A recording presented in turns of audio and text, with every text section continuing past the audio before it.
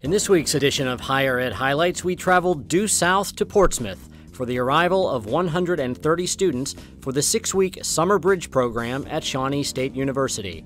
The program is designed to help students with some developmental needs in math and English get prepared for the college level courses that they may plan to take in the fall. Shawnee State provides classroom instruction and, for students outside the region, residential housing during the course of the Bridge program, all at no cost to participating students and families. Well, the most important part of this is it's free. Uh, many students who take developmental coursework are taking non-college credit courses and they're paying money for it. They're building up debt.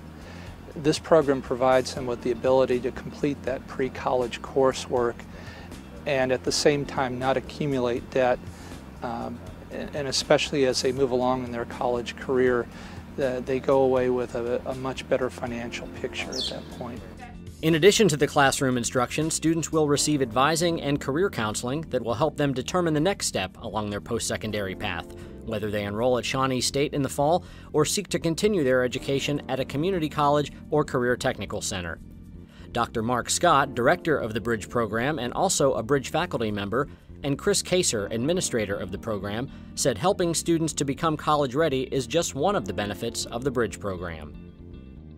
We're also going to get um, some familiarity with college life that's going to help them out in those first few months. They're going to figure out a lot of things that it's going to take their peers in the fall semester that are already college ready.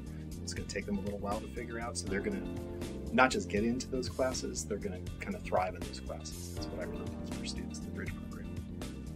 And so one of the things that we want to make sure is that the students are not only as, you know, as Mark said, college ready, but we'd like them actually to be a little bit ahead of the game when they enter in the fall. So we're going to be offering not just academic coursework, but a number of different both academic and uh, extracurricular programs that are designed to help them make some decisions with regards to career, um, to learn about finances, to learn about the university in general. Dr. Scott said while he hopes all of the Bridge students will matriculate into Shawnee State in the fall, the most important thing is that individual students pursue what best fits their interests and career goals We're a good fit for them here at Shawnee State. I want them here. Um, I want their success to be here.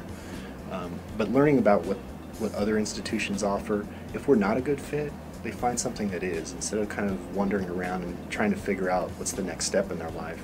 Their academic journey can begin the very next, you know, a few weeks from from the time the bridge program ends.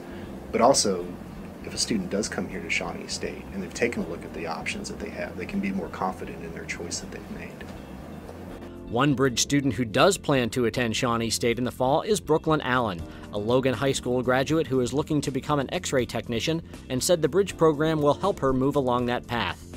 Brooklyn's mom, Amy Kendall, said the instruction Brooklyn will receive and the program's low registration fee hit home with her.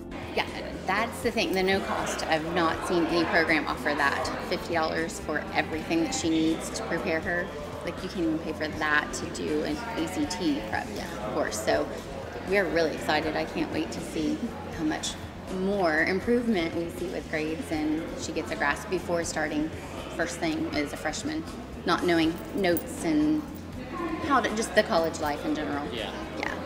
Brooklyn will live on campus during the six week program, which she said is a little intimidating since she's barely a month out of high school. It's so early, but I'm ready for it. It's exciting. Look for Higher Ed highlights on the Ohio Department of Higher Education's YouTube page and through our Facebook page and Twitter feed. And check out our website at ohiohighered.org. Thank you for watching and come back next week for another round of Higher Ed highlights.